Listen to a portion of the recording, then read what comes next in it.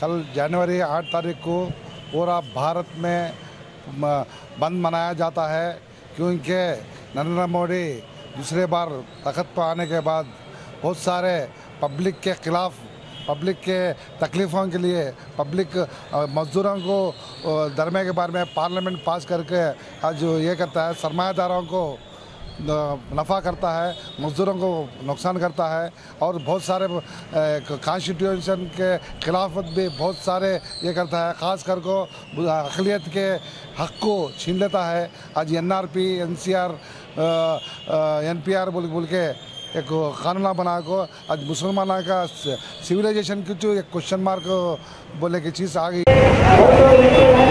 देश देश 누구나?